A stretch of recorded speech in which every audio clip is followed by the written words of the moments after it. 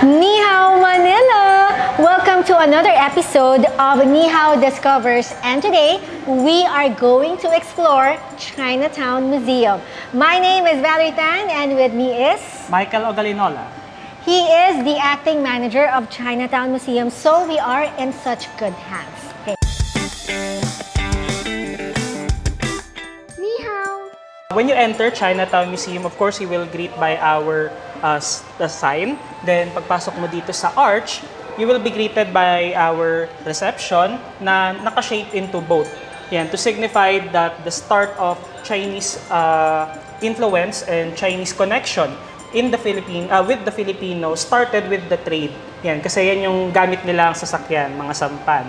Para pumunta sa Pilipinas, Yes. di ba? Uh, so that started initially with trade, then eventually they settled in uh, Manila where Binondo will be founded on 1594. Letras y Figuras is a, is a unique art style in the mid-19th century where they use people to spell out letters. And we spelled out Binondo in such a way that it depicts what makes it unique as a Chinatown uh, compared to the other Chinatowns in the world. So, may kita nyo dyan yung different aspects of life na, na meron sa Binondo during its uh, height in the 19th and 20th century. That's why you will see uh, influences in religion, in food, in transportation, and commerce and trade. So, to start off the tour of the museum, yan, you will uh, see here a map of Manila Chinatown. So, to show it's not just Binondo that comprises Manila Chinatown. It's actually composed of several districts north of Intramuros. So the entire northern section of Pasig River, taas ng Intramuros, yan, you will see, bounded by Rizal Avenue, all the way here to Recto Avenue and Manila Bay, yan ang kabuuan ng Chinatown ng Manila. So that started when Binondo was founded, 1594, and as centuries went by, key locations uh, bounding Binondo became settlements also for the Chinese. Yan, yung mga new settlers were here in San Nicolas.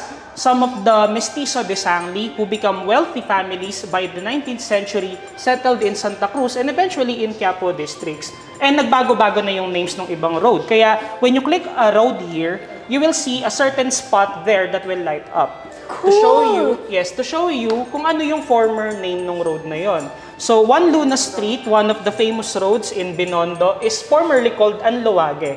Dahil dati sa street na yon, nandoon nakalocate yung mga carpenters naman. Alam mo, Michael, so interesting na pinres mo itong Juan Luna Street because FYI, dyan ako lumaki. Oh, really? Yes, Ah, okay, laking binondo ako. Tapos talagang, Ah. as in, siguro dito akong area na, dyan ako lumaki. Doon bata ako, yan. Kasi laking binondo ako eh, sa Juan Luna Ah. Mismo. So, thank you. ah. So special, so Yes, nostalgic yes. for me. So, former uh, road names were uh, taken from different aspects. Minsan, pangalan ng santo, pangalan ng famous person in uh, Binondo history like Father Benavides. Minsan, pangalan sila ng locations from Spain. Yan, to showcase that this is an uh, this is an enclave under the jurisdiction of the Spaniards. So maraming pinaghalawan ng names. But also there were locations here na pinangalanan per se ng mga Chinese. Yan, for example, y- itong road na to, pagpupuntahan nyo siya, iba yung road name niya, pero ah, it's called Ormiga. Pero pag ang dating tawag nila dito, tangkian. Kasi nandyan nakalocate yung mga nagbebenta ng parts ng tangke. So take note ah, tangke is a Chinese term. Ah, wow, yes, yes. Kasi nandun yung industry ng tangke. Oh, ang ganda nito. Alam ko to. of course. This is syempre the famous Binondo Church. Yeah. So main reason why Binondo was founded is to be the settlement for the Catholic Chinese. So first requirement, in order for the Chinese to live in permanency sa Binondo, they need to convert first.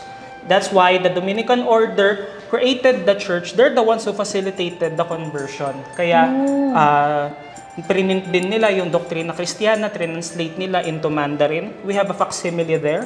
Yan, ganun po yung itsural before ng doktrina Kristiyana when it was translated as a uh, as a Mandarin version niya. Ang ganda nitong ano, no, nung sa Binondo Church, kamukhang kamukha. Yung, Ah yes, we really copied that Baroque facade. That Baroque facade was inspired by, by this 1868 lithograph Yan. This, th- this was right after its reconstruction, after na masira yung majority ng buildings sa Manila during the 19, uh, 1863 earthquake. So there's a massive earthquake that hit Manila. So sirang-sira yung mga buildings, including Binondo Church. So it's among the buildings na nireconstruct immediately at yan ang itsura niya. They maintained the Baroque facade, but some of the elements of the church prior to its destruction nung uh, earthquake na wala na. Like before, it had a courtyard. Ngayon, wala na. Kalsada na ngayon. Pero before, you can see how it evolved throughout the centuries, years, until nung Battle of Manila, na ang natira na lang yung facade niya and bell tower. So the remainder of the current Binondo Church, reconstructed na lang siya. The only remaining original structure there from the 19th century ay yung harap niya at yung bell tower. The rest, inulit na lang siya. So very different siya, yung may kita nyo, especially the interior. Kasi matagal na, na nabago yung interior niya when it was reconstructed. Yan. We also discuss here, yan, paano yung conversion, like puputulin muna yung braid nila. Yes, when they arrived here, take note that it's they're, they're under the Manchu uh, dynasty, so foreign yon. So they forced the male-blooded, uh, the male Chinese, the pure-blooded male Chinese to don their hair like that. So kailangan ahit yung kalahati, then nakahaba yung likod at ititirintas. This is to note na habang nasa malayo pa lang, alam nilang pure-blooded Chinese na subject nila yung, yung makikita nila. So now when they arrived here en masse, nung nakikipag-trade sila sa mga Pilipino, ganito buhok nila, Can I help? Of course. That's just wig. Don't worry. Ah, okay. Yeah, They're not real hair. Yan. So, papaputol muna to before sila bibinyagan. Many, yes, many opted to convert because of uh, economic reasons. Dahil pwede ka nang magmay-ari ng business aside sa fact na titira ka na permanently dito, you can wed a local. Yan. So, plant your roots in permanency. And finally, the tax na binabayaran mo, malaki yung mababawas. So marami na-convert noong Yes. time na yun. Again, mainly ha, for economic Yes, reasons. yes, yes. So hindi talaga siya for spiritual reasons. Yes. But eventually they learned to embrace the faith. That's why the first Filipino saint is of Chinese descent, si Lorenzo Ruiz. Wow! Yes, okay. born and raised here in Binondo. Pinanganak po siya sa Calle Nueva, yung naging uh, Yuchenko na ngayon. So, somewhere there, pinanganak siya. He served in Binondo Church and uh, when he was martyred in Japan in the early 17th century, uh, na- na-canonize din siya. Dito mismo sa Binondo Church noong 1987. That's why he's among of among the roster here of the Catholic uh, images na nire-revere ng mga Filipino-Chinese. Yan, of Binondo. That's why it's a unique Chinatown because it's a Catholic Chinatown. Ah, bakit sa ibang countries ba usually? Of course, they're Buddhist, they're Ah. Taoist. Yung ano, yung- kung ano yung prevalent religion nila from mainland China, they in- they imported that into that uh, lo- local, then integrated siya.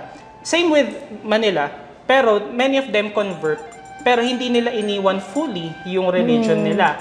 What happened really is it mixed. Yan. That's why you see certain elements of their former religion inside the Catholic uh, ano, inside their Catholic practices. For example, sa altar. Nandun yung imahe nila Jesus Christ, nila Mary, pero may Buddha.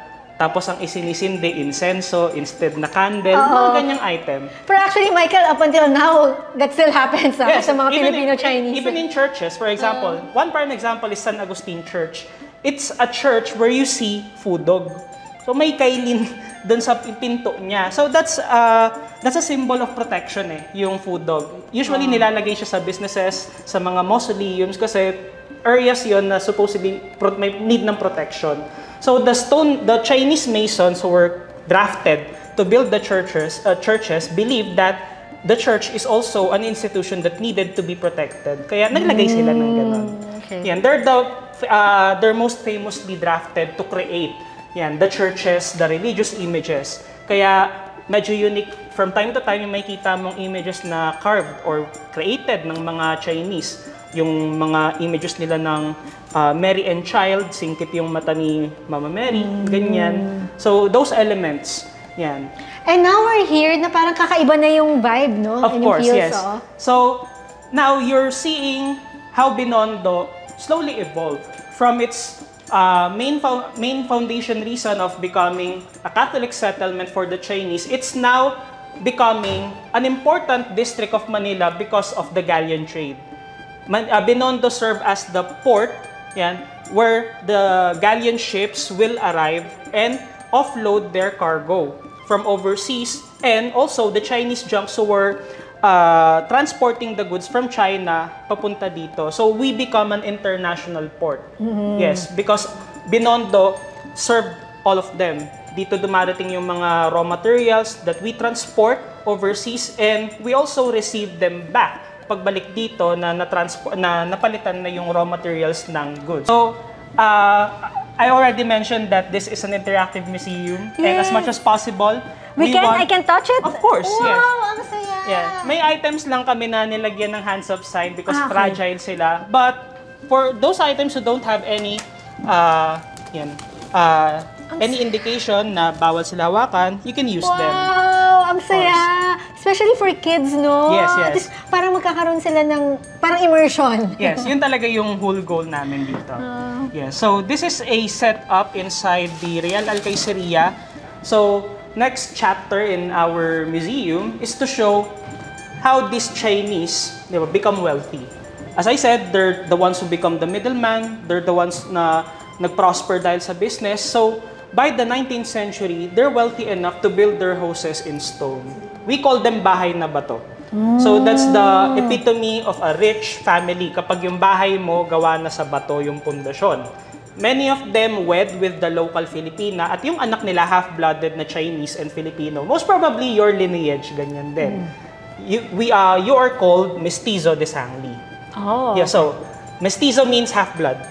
Pero dahil wealthy, majority ng mga mestizo, naging equal yung meaning ng mestizo sa wealth. That's why the mestizos are also seen as wealthy persons. And by the look of it, ganito kasi yung itsura sa loob ng bahay nila. And you can experience, di ba, uh, this, this is just an added feature this year of Chinatown Museum. We added costumes para yan, pag gusto nyo mag-photo op, Pwede magsuot? Of course. Oh, wow. yan. Of course, pwede siyang gamitin talaga.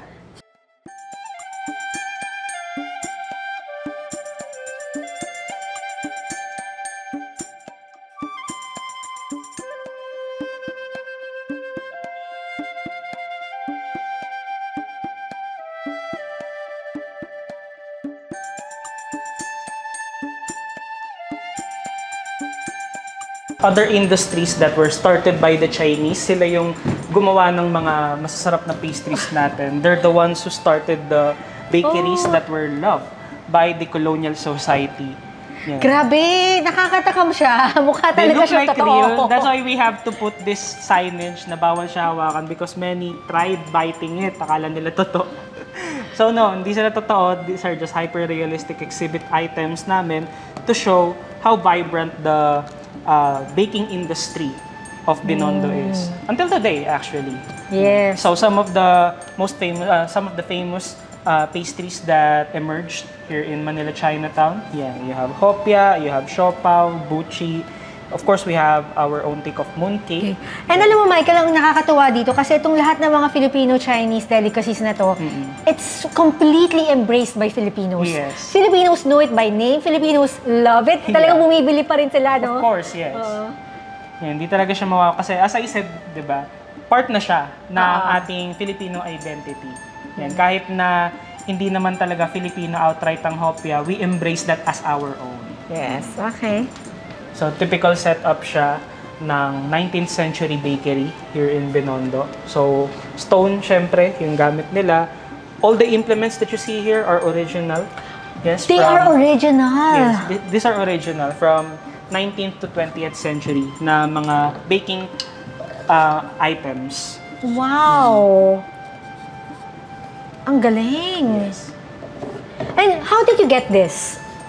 Ah, yung mga Oo, original. original. Yeah. Uh, some are loaned to us. Yan. Some we bought from previous or, uh, owners who were willing to let go of their own personal belongings kasi alam nilang maaalagaan siya dito. Kasi these are legacy na eh. Yes, yes, Hmm. yes. Oh. If you're not shy enough to carry this, ayan, pwede mo siya ilagay sa likod mo. Ito? Ito, magaan lang naman Ah, ito. ito yung ginagamit ng mga... ng mga laborers yan Ah, okay. to carry goods. Ang saya! Ang saya Ayan. how interactive this museum Yeah, is. So, imagine you're a Chinese uh, laborer back in 19th century Manila. So, the goods were transported via cascos sa mga estero. The foreigners even call Binondo as the Venice of the East daw dahil sa picturesque yung mga estero natin. And there were they were used not only for carrying goods but to ferry people too as uh, as, tras- as transportation. So once they arrive at the wharf yung goods it's the duty of the Chinese laborers to carry them to the shop houses kaya ganyan they carry them on their backs on their head so magaan siya dito that's why you can Oo. use them pero Pero dapat nakaganito Oh, ako. imagine if nandun ka sa era na yon, ay, sobrang bigat niyan. yeah. Nakakatuwa. Ayan. Yan. But it's really nice, ha? Yes. Oo. Yan, just to give you a glimpse of their daily life Oo. noon. This is our most fragrant uh, gallery. Oh my God! Ayan. Ang bango! So see, yeah. uh, not see, yeah. You can Oo. smell. You, you can smell how a real botica operates before. Pagpasok mo dito. So this will transport you to a 19th century botica. Yan. So let's play some music din. Oh, wow! May music Yan. pa! Para, ano, pa- para yung ambience niya buo talaga. Yeah. Oh my God! Alam mo, nagka-goosebumps ako. It feels, it feels so real na parang dapat yata naka-black and white tayo ngayon para... Well, oh, kadalasan ng mga bumibisita dito, they use filters like that para mas feel nila yung ambience na i- Oh. i-grayscale nila para mukha talagang part ng era yung experience nila. At ito, nakita ko, you can find med- medicinal herbs inside. Yes.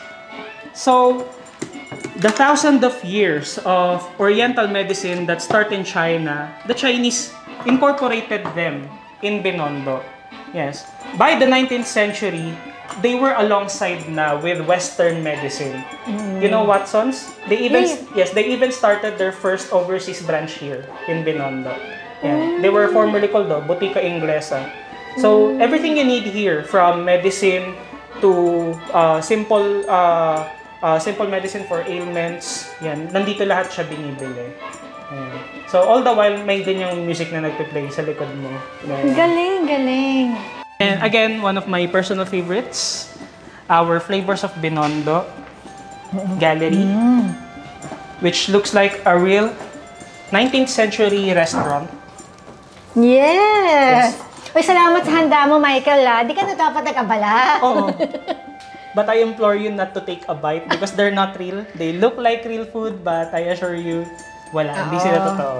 So, ito yung mga dishes na sikat sa Chinese, diba? We have here, yung syempre, Yes. pansit. So, what dumpling. I call them actually are Filipino food that were influenced to us by the Chinese. Yan. Kasi wala namang pansit canton sa Ah, China. because it's Filipino-Chinese It's na. Oo, yes, so, yes, yes, yes. Yes, yan. Yung adobo natin na may toyo na. Yan. So, when you go around Binondo, during food crawls, this is what you will expect. These types of food, these foods that were served here. Mm-hmm. Yan. So, ano lang siya, teaser lang siya ng kung anong may experience mo pag mag-food crawl ka sa Binondo. Mm. So, parang dapat yung first destination mo dito sa Manila Chinatown is really, Chinatown was yung first, ah. para mas ma- ma-appreciate mo yung history and then you Yes. go and explore by foot yung ating Binondo Mm. Chinatown. Kasi mangyayari niyan, pag nakumain ka muna, magugutom ka lang ulit. eh. Just kidding. Yeah. Yan. Kasi enticing talaga tong mga gallery namin. Yes! Yan. It's also the only Chinatown na nagsaserve mostly ng chocolate rather than tea. It's because of the demand. Dahil mga Spaniards yung ah, kumakain, mostly dito sa Binondo, the demand is chocolate. That's why we have many chocolate factories here in Binondo. To ah, process the cacao beans into tableya. Thank you so much, Michael. Ang dami nating nakita at natutunan, but guys, ah, there's still so much to explore. Ah yes, please visit Chinatown Museum and experience what Miss Valerie experienced here to us. So uh, we have social media pages. We're on Instagram and on Facebook. We also have a website. It's chinatownmuseum.org. So please uh, follow us on social media so you will be updated on our upcoming exhibitions and mga contents na ilalabas pa. Maraming salamat. Yeah, thank you Tosya. very much. Yeah. Sese. Shisha. Saya Saya Michael and to all our viewers, do come and visit kasi ako as a Filipino Chinese. Akala ko marami na akong alam but still, I discovered so much while touring here at Chinatown Museum. So we hope to see you guys here, alright? Please do visit and follow our social media accounts, Nihao Manila. The handles are here. We'll see you guys next time. Thank you so much for joining us in today's episode of Nihao Discovers by Nihao Manila. My name is Valerie Tan. See you guys next time. Bye-bye!